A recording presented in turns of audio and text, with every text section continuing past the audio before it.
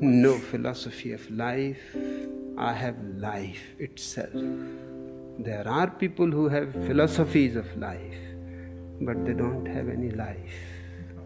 It is just a consequence of being silent and in tune with existence. Love arises in you. Life becomes abundant. Laughter for no reason. Just because this whole existence is so hilarious.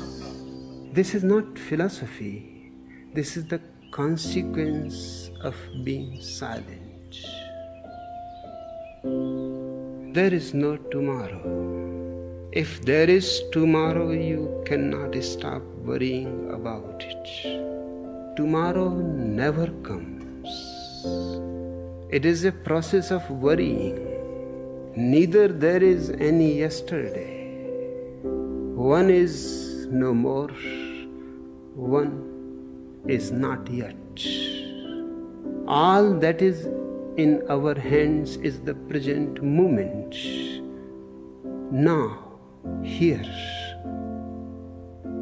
And this is a miraculous experience. If there is no yesterday, no tomorrow, and this very moment you are.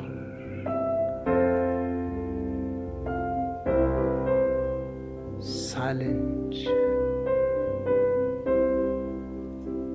all worrying disappears, all imagining, dreaming, projecting disappears. And it is not that you have to enjoy this moment.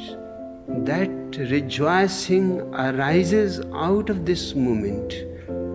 But you are never here. You are always somewhere else. You are never in the now. You are always then. Otherwise, everything is available. But you are absent.